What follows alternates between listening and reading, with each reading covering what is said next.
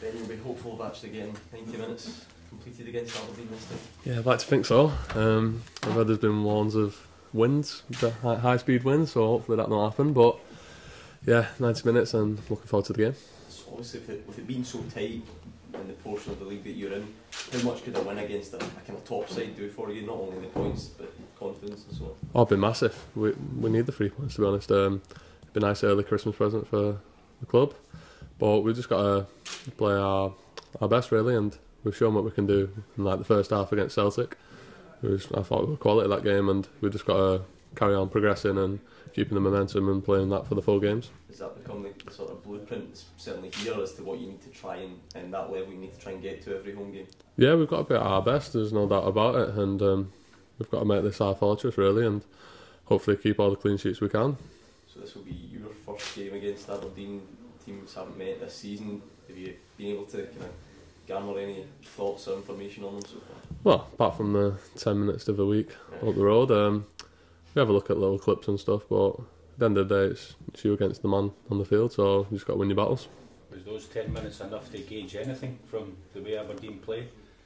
Nah, I don't think it could have been, to be honest. Um, a few long balls, a few misplaced passes, but it was a. They've got some s- strong physical centre forwards, aren't? Forwards, you know, is that something that you, you know, you relish those kind of challenges? Yeah, that's a challenge, and that's, why I'm here. I look forward to them battles, and hopefully I can come out on top. What have you made of the season so far in general? It's been good. I've, I'm enjoying it, and but when it comes to points, it's been a bit frustrating, like losing the odd game or conceding late on for a draw. So we just, like I said before, we've just got to um, keep the momentum going and hopefully keep clean sheets and get them three points on the board. Have you thought of uh, what you're doing yourself for the winter break? Is there any plans in place? No, no nothing really. Just keep working hard in between, keep my fitness up, and hopefully come back same as left. Are you going somewhere or are you just get a few weeks break or what is the actual situation? To, to be honest, I don't know the, the full plan. I, possibly a week off. I don't know. To be honest, so we'll see how it goes. Could be training. I think the manager said a few weeks ago he was he wanted to you know place specific attention onto conceding less goals. You know, it worked at home with Kilmarnock, but obviously couldn't get one at the other end. Does that does that involve anything different for you? Have you guys had to change what you've been doing in order to sort of tighten up at the back?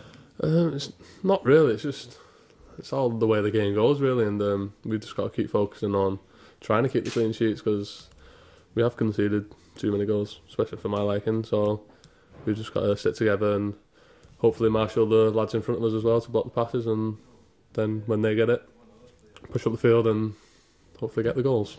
Quite often in the last few weeks, you've you know maybe played a back three, a back four, even different players, certainly left back. What's that been like for you, who yourself is obviously still perhaps getting used to the team and the league and so on?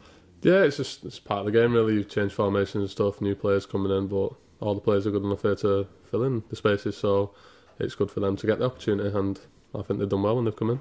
There's been a lot of focus on uh, the youth team at Motherwell in the last week especially. Uh, what have you made of the young guys coming through? I think they're all very good lads, and there's a lot of potential there. And I think if they keep playing the way they're playing, especially with the under 20s, as well, I think it was nine one the other night, which is ridiculous. So hopefully they can bring that onto the first team. Do you guys get to train them or do they get to train you on a regular basis? Yeah, there's a lot of them who do come up and train with us, so that's good for them. It's it's good learning, and they deserve the chance, no doubt about it. Great, thank you. Thank you. Thank you.